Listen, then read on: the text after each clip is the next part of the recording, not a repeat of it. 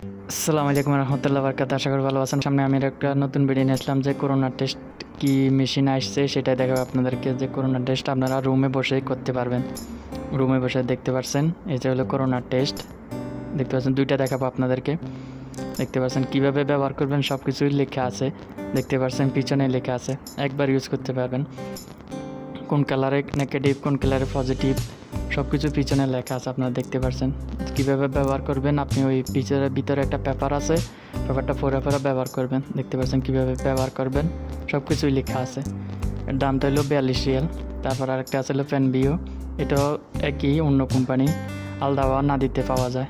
এটার দামটা হলো পঁয়তাল্লিশ রিয়াল। তা হাফেজ, ভালো থাকবেন।